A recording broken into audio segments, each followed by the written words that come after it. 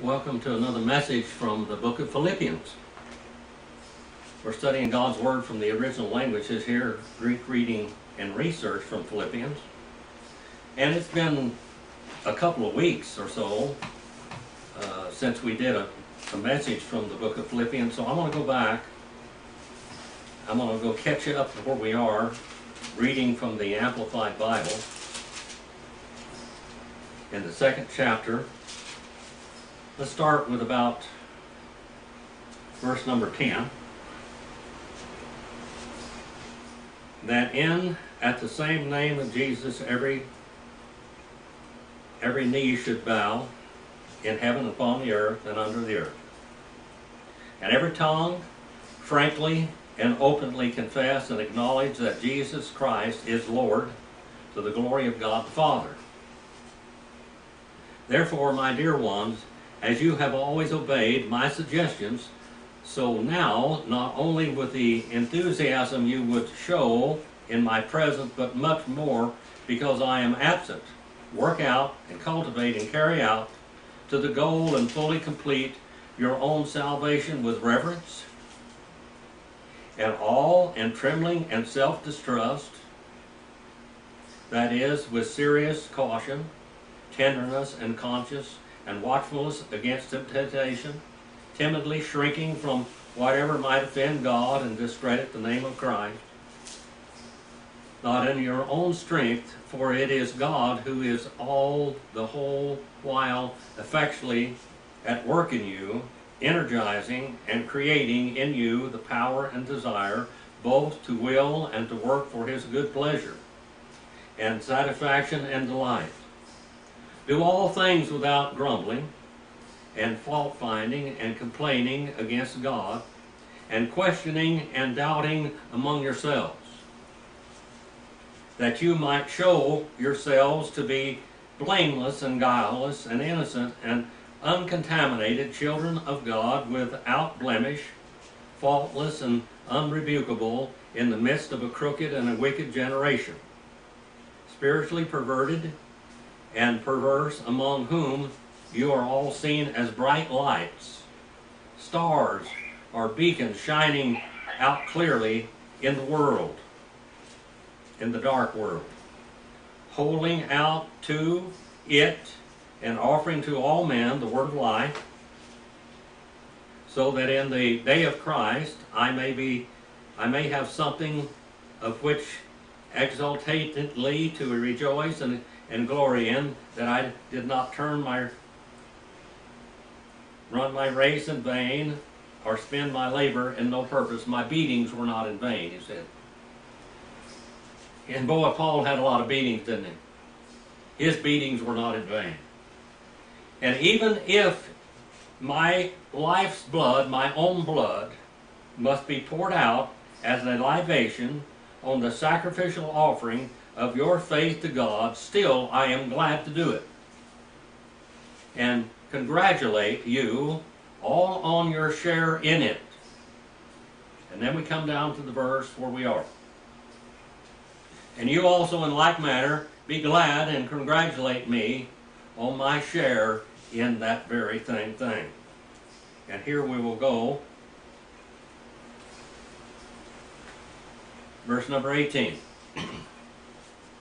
Now, the title of this message is Self Sacrifice and the, and the Sacrifice of Christ. Sacrifice. It is sacrifice, service, and faith. Our life is sacrifice, service, and faith. Now, many of God's people don't put their money where the mouth is, do they?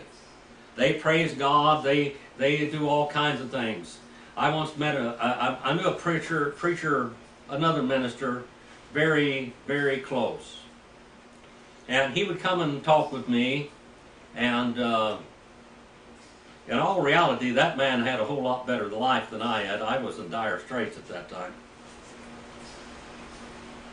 Because I had a real, some real family problems that I couldn't take, that I couldn't cure. It was impossible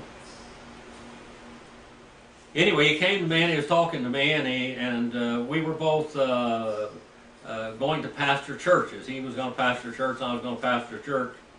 And he started talking to me about his wife and different things like that, and and uh, and that how that one day that he was really going to serve the Lord when he got to be a pastor of church. That right now that he didn't tithe and uh, and he didn't go to church every service and all that kind of stuff. Anyway, um, he had a he had some problems. My problems were much worse than his. He just didn't know what they were because I didn't tell him.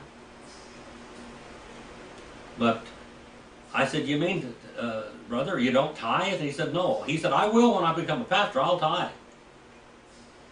And I said, well, "I said, brother, you ought to tithe now," because I said, "How can you tell your church members that they ought to tithe if you don't tithe when you're a church member?"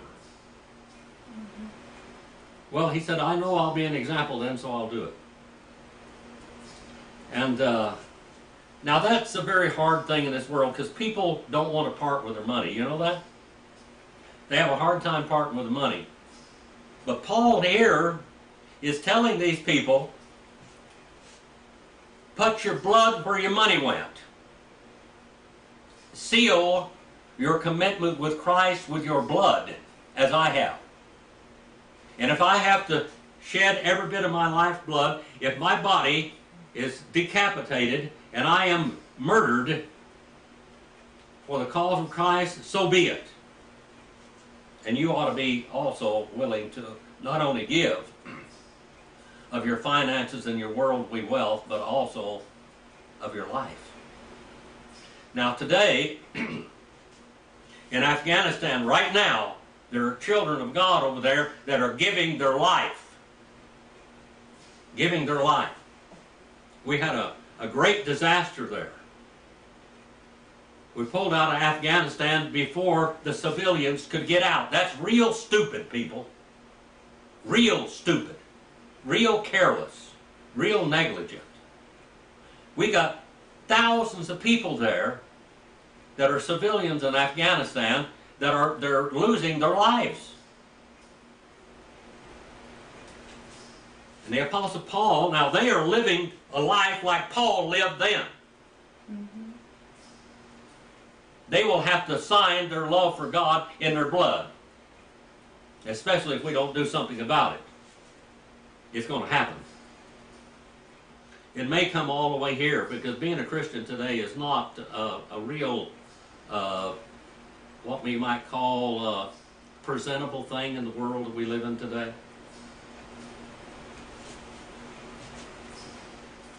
Paul is telling these people here, I'm probably going to have to give my life, my blood. You be willing to do the same thing that I do. Just think right now, I know Sharon has thought, uh, it just really bothers her. She watches the, the news over there and she sees these people, I, I, I, and she sees all these thousands of people fleeing. Some people will grab on the side of an airplane and hold on to the airplane because they know they're going to die. And then they fall off and die. I guess they chose to die that way rather than dying by the hands of these Muslims. Well, they could be tortured to death. They could have her be burned to death.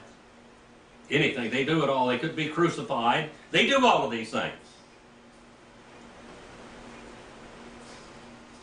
Sometimes and someday maybe we'll be called upon to shed our blood and put our, our blood where our mouth is mm-hmm. and where our money is. And some, some people won't even give their, their wealth to the Lord, let alone their life, their blood. These people over there have lost all the material goods in the world.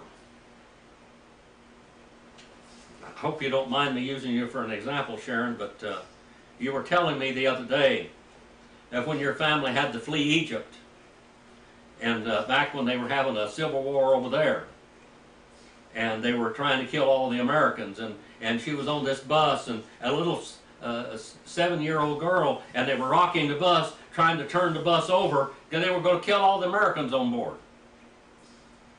They were trying to seek them out and to kill them. They were trying to get out of there with their lives.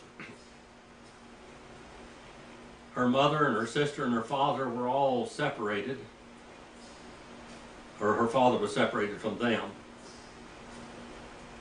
They finally got on the ship and started across the Mediterranean to get out of that mess.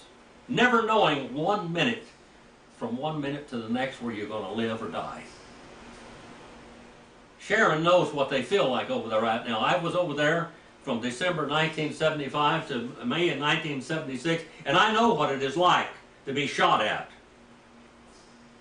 And I know what it is like being living in danger, where you never know you're going to live one minute or five minutes or whether you're going to live a year. You don't know. We're in war.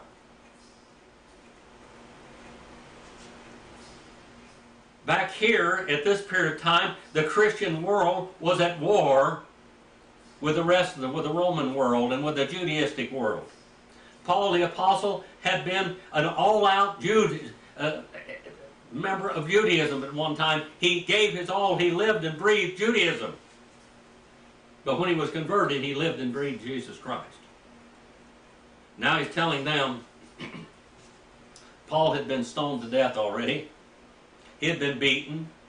He had been arrested. He had been jailed. He had been starved. He had been tortured. And he says, I hope that you will do likewise if it's called upon you.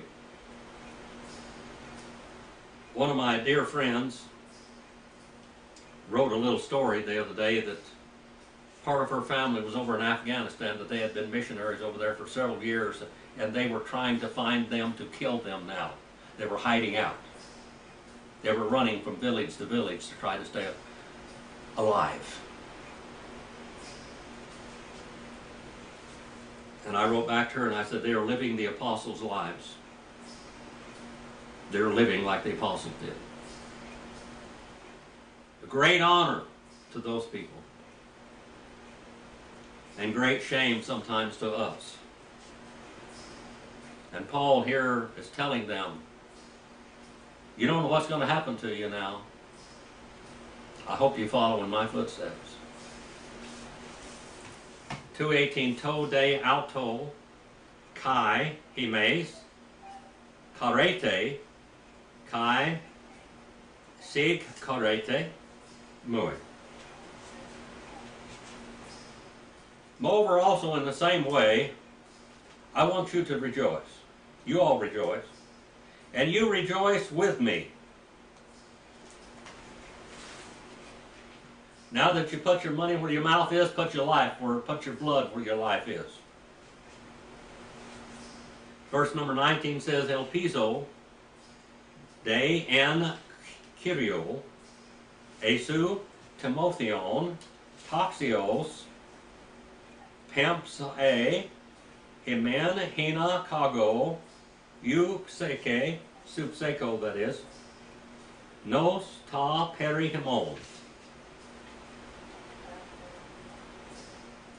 Moreover, I hope.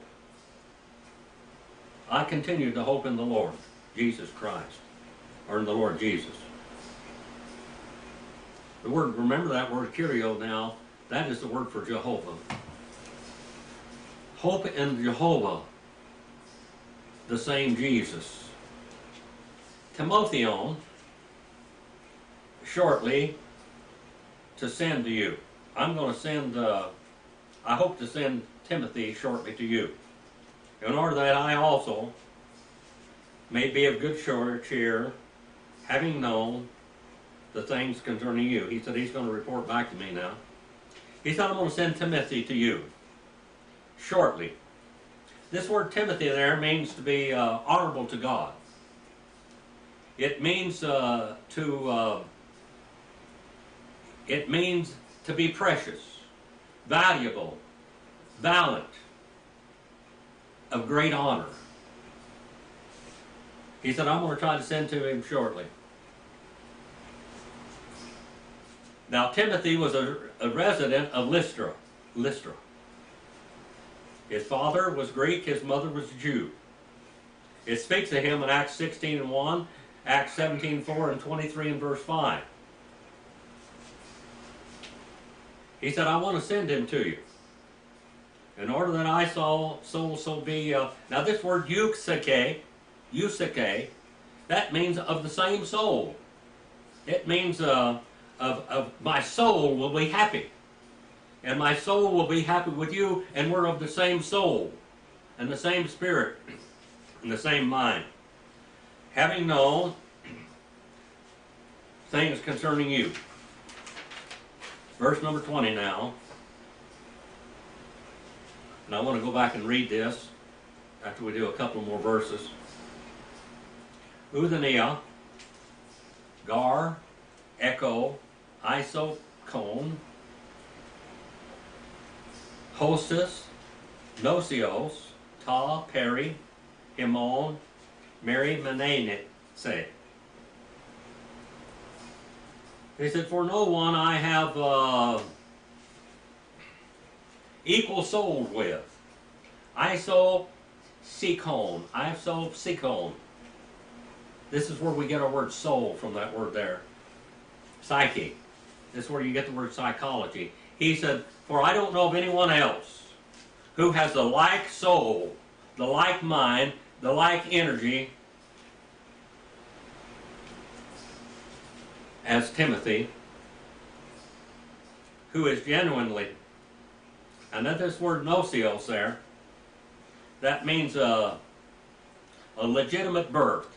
Paul looked upon Timothy as his own legitimate son, his legitimate son, of his, his, his own son, who genuinely, genuinely and sincerely, and this is a little adverb that's only used here one time in the New Testament. He said, This bird, this is not an illegitimate bird. Timothy is my genuine son, and you are my genuine children. You're a legitimate birth. Concerning the things of you, I shall keep in mind, and I shall care for.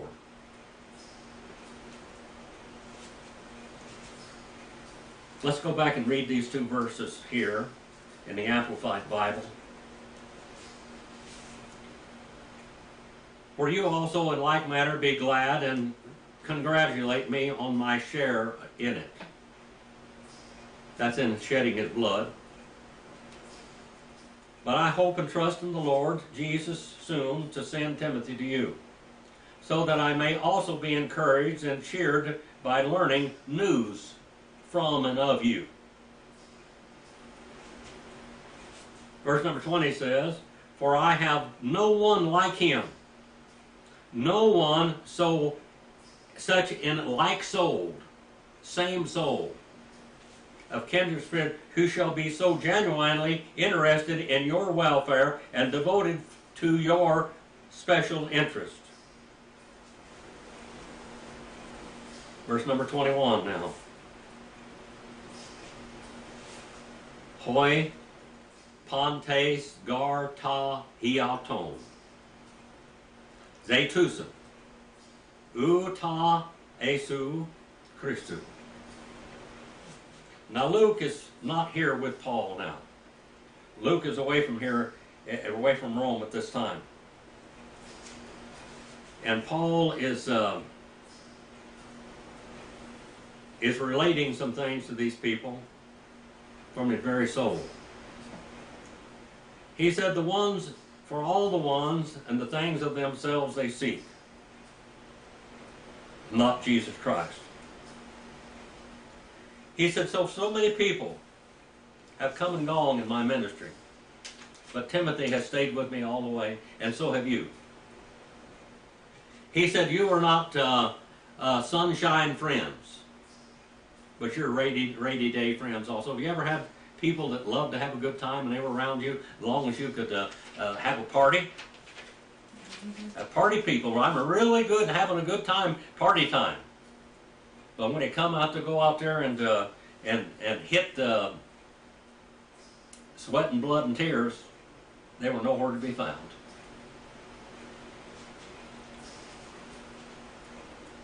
Verse number 22. Tande dokimain. Alto genos kete. Hoti hos patri.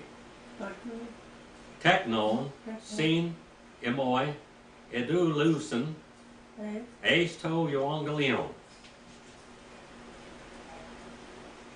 And it says here, but the test of metals, the very uh, touchstone of uh, the very testing of personalities, the very testing of souls. That word dokimane there, that means to test by fire, to test by a touchstone, whatever. To find out what a metal is made out of. He said, Paul says here, one of these days you're going to find out what I'm made out of, what Timothy's made out of, and what you're made out of. The truth will come out 100% one of these days. And when the real persecution comes, this is when we're going to find out what you're made out of. I so grieve for those people in Afghanistan today, the Christians. Such a thoughtless, careless acts as are taking place to throw them in harm's way and nearly a sentence of death. But the testing of him, you continue to know because as a father, a child with me he served unto the gospel. Let's go back and read these two verses here. For all others, all seek to advance their own interests, not those of Jesus Christ the Messiah. But Timothy's tested worth, you know. This man has been tested and tried. He's been through the fire. How as a son with his father he has toiled with me, serious, zealously serving and helping to advance the good news and the gospel. Look back at this word here now. Look at some words here in this verse. The testing. You know what his character is. And he said, You continue to know. Because as a father, and now we have the word apotri there, but we have the word technon. And the technon is like equivalent to the Hebrew yalad. And yalad and technon mean what? A live, valid birth. A validated birth. That he is my, I am his father, and he is my valid son. With me, he has served. He has slaved. All for ace to euangelion. Now the word ace there is extension or limitation of thought or verbal action. That's the idea of this of this preposition here, page 119 in the Analytical Greek Lexicon. The extension or limitation of thought or verbal action, this accusative case, this case of action. He said all of his whole life and his interests, like mine, have been for the furtherance of the gospel. Let's look at this word, little word here on the blackboard or whiteboard for a moment. Word ace. The Hebrew equivalent is eth. Now, ace here, the idea is action. Is action. The idea is extreme action now. Let's look over here. Here's an object right here. Now, there are a lot of Hebrew or Greek prepositions. One of them is pros. All right, pros means up to it, toward it. All right, and then we have hyper, hyper. That means over it. Okay, and hypo means under it. And in means in it. All right? And peri means around it. And ace means all of it. His whole life, his whole focus has been ace to euangelion for the message, the good news of God. That's what Timothy lives is. Verse number 23, and this is our last verse now. for this message. Tuton man un el piso. Pempse hos on afido ta peri me ex autes.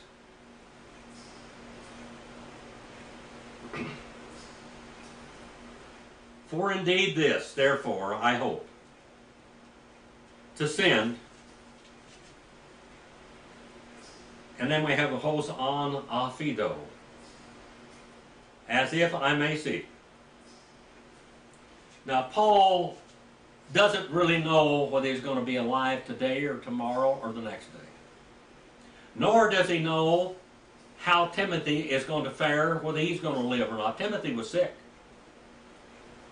He was sick. Another one of his companions was sick unto death. Now, by the way, if they were sick, if Paul was sick, if Paul didn't heal himself, if Paul didn't heal Timothy, if Paul didn't heal his other companions when they were sick unto death, why didn't he do that if he had the power to heal people? Because these people believed. Healing and miracles were for the unbelievers, not for believers. People remember that. The healing and miracles for, for unbelievers, not for believers.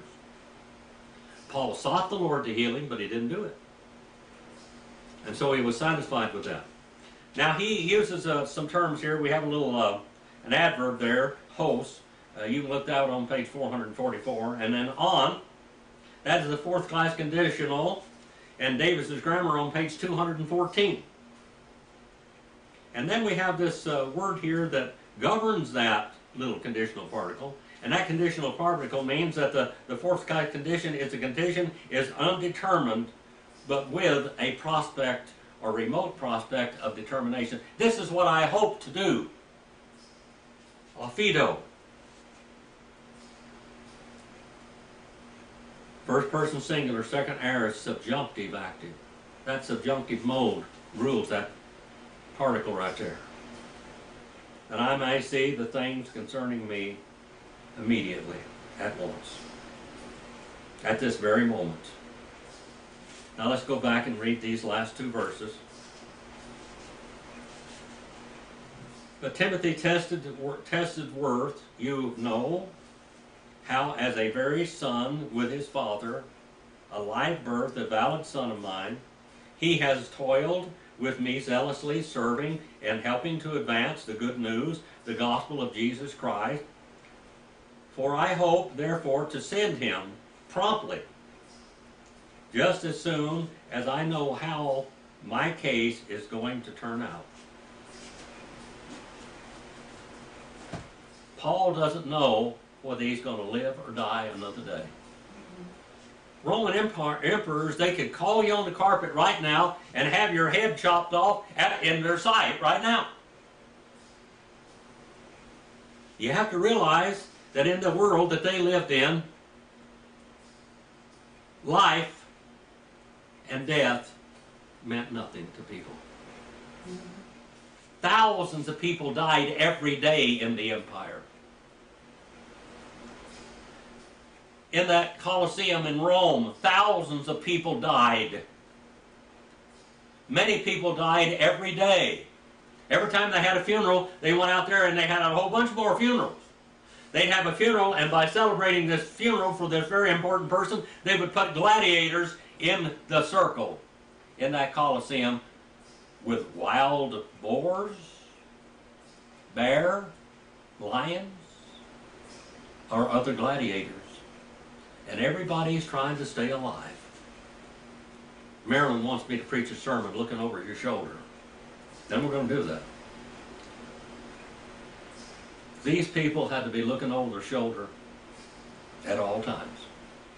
You go up here in the woods, and you look at a wild horse, and you look at a, a deer, you look at a bighorn sheep or an antelope, they're always looking, always looking, always listening, always looking over their shoulder because death is just around the corner. Every moment, death is just around the corner.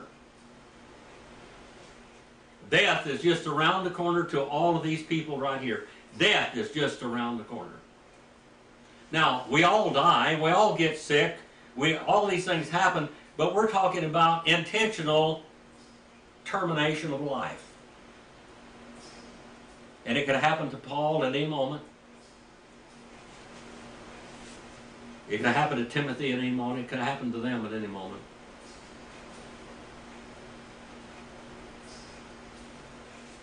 On the television, we watch things and they show about the gladiators and the deaths and the burials of the gladiators.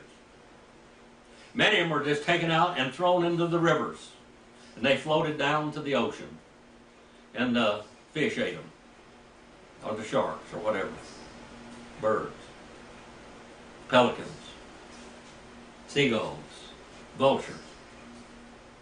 And some of them were given honorable graves, buried with their honors. Those were the exceptional ones. Those that that looked over their shoulder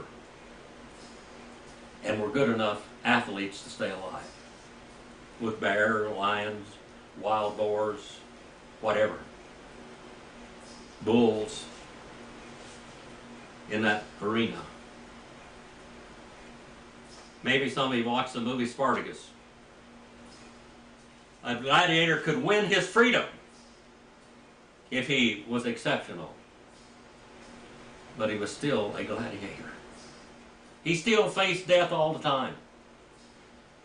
And Paul is using his life to show you that we are all gladiators. We are all God's gladiators. We're all facing death. We're all looking over our shoulder every day. But may God get the glory from all things. He said, I hope to send Timothy to you shortly as soon as I find out what's going to happen to me. Don't we live, at least us here, at this moment, at this time, don't we live in a very, very safe and secure world? When we look in China, India, Afghanistan, Iraq, Turkey, many of the places in the world where it is not friendly, Christian friendly.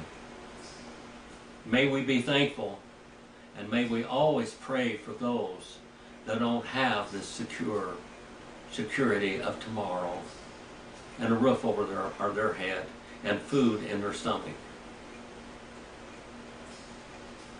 Think about those things. A roof over your head. Tomorrow we're going to put air conditioner in our home to make it more comfortable for us. That's really good. But when I grew up in that little one-room shack with a dirt floor and a tarp flap for a door and a little old chicken wire screen for a window, the flies were all of us all summer long. We burned up. I just I was thankful for the winter. We could put enough blankets on us to kind of stay warm. It got cold, it froze, you know. We didn't have a we didn't have a heater to stay on all night or anything like that. I'm thankful that in my old age, at least for this moment, that I can have some of these luxuries, but there's people all over the world that don't. And some of them are very old, and some of them are very ill. And I'm old and I'm ill. Paul said, I've learned to be thankful for whatever shape I'm in, whatever's around me, I'm happy with it. May we learn that. May we, we maybe we learn to trust in God and to be happy with what we have and with the life and what life is given to us. Our Father, we send this message out, especially praying for those in the world that that aren't secure, that aren't safe, that are in terrible danger and threat of life every moment. We pray for them. They are the apostles' lives in the world today. Father, I pray for them. And I pray that we may appreciate your grace that we have at this moment. Please forgive me where I failed you. And use this message for your honor and glory. In Jesus'